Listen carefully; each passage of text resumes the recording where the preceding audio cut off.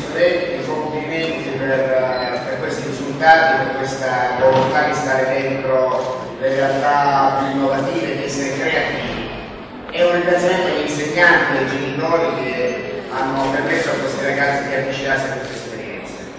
Quindi io penso che i temi sempre legati all'occupazione giovanile, dei problemi ci sono oggi, l'unica strada vera che si può percorrere è questa, è quella di usare quelle tecnologie innovativi, la tecnologia digitale per aprire nuove mestieri, nuove carriere, per avere la possibilità di creare nuove imprese.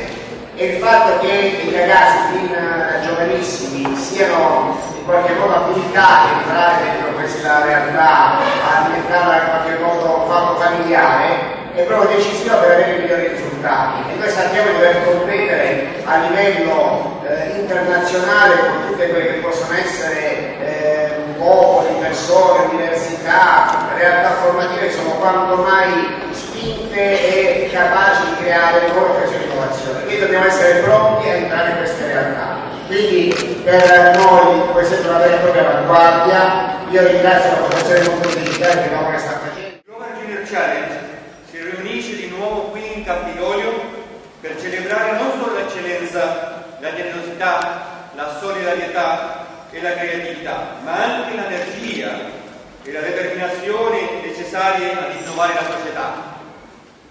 Siamo qui perché siamo preoccupati, ma anche risolutamente decisi a migliorare il mondo specialmente per le generazioni future che erediteranno quello costruito da noi adulti oggi.